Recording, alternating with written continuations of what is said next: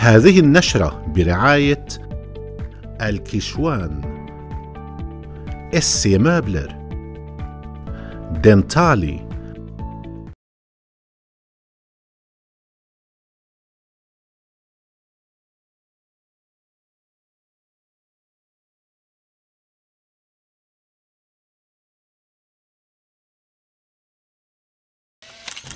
لوفين الفساد مشكلة لبنان. البطالة في السويد ترتفع بوتيرة أبطأ. وثلاث وفيات بكورونا في ثلاثة أيام.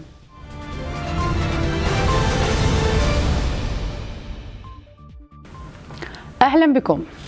مع استمرار الاحتجاجات في لبنان بعد انفجار بيروت الهائل رئيس وزراء السويد ستيفان لوفين يقول إن الاحتجاجات تظهر الحاجة إلى إصلاحات هيكلية شاملة ومحاربة الفساد في لبنان. لوفين أكد ضرورة أن تعالج الإصلاحات مشكلات البلد الاجتماعية والاقتصادية من أجل خلق مجتمع أفضل للشعب اللبناني والكثير من اللاجئين في البلاد. السويد قدمت الدعم للشعب اللبناني عبر شحنات إغاثة وكوادر بشرية ومساعدات طارئة عبر الصليب الأحمر السويدي. في إطار الانفجارات التي عادة تكون مرتبطة بحرب بين العصابات استهدف انفجار صباح اليوم متجرا صغيرا وسط مدينة لاندسكرونا دون أن يؤدي إلى خسائر في الأرواح. الشرطة وصفت الانفجار بالقوي وصنفته التحقيقات الأولية كعملية تخريب. ما زالت السويد واستراتيجيتها مثار اهتمام عالمي.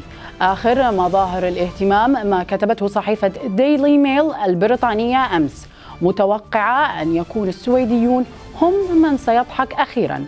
عملا بالمثل الإنجليزي يضحك كثيرا من يضحك أخيرا. الثمن الباهظ الذي دفعته بريطانيا جراء ما اعتبرته الصحيفة تخبطا في مواجهة الوباء.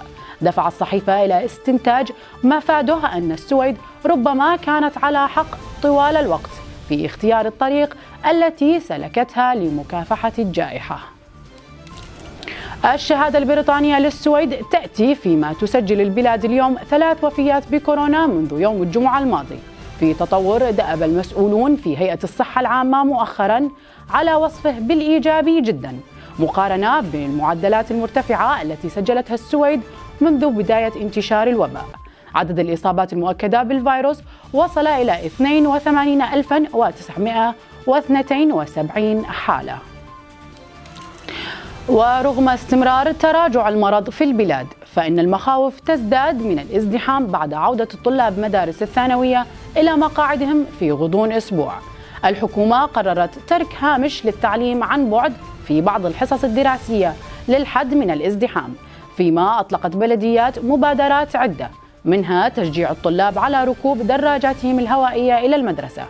في سياق متصل سلط تقرير لراديو السويد الضوء اليوم على تفاوت كبير في استعداد البلديات من حيث مخزون أدوات الحماية كالكمامات والأقنعة. بعض البلديات لديها مخزون يكفي لمدة عشرة أشهر، فيما البعض الآخر لا يكفيه المخزون أكثر من أسبوعين. وفي التداعيات الاقتصادية للوباء بدأ سوق العمل اليوم أكثر اشراقا ولو بنسبة قليلة.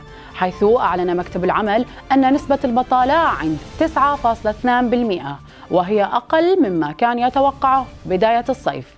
الأسبوع الماضي سجل مكتب العمل أكثر من عشرة آلاف عاطل جديد عن العمل لكن في الوقت نفسه يحصل الكثيرون على وظائف جديدة خاصة ممن فقدوا وظائفهم مؤخرا. وفي الخلاصة لا تزال البطالة ترتفع لكن بوتيرة أبطأ من السابق. مكتب العمل يتوقع أن تصل ذروة البطالة إلى 11.2% مطلع العام المقبل. إلى اللقاء.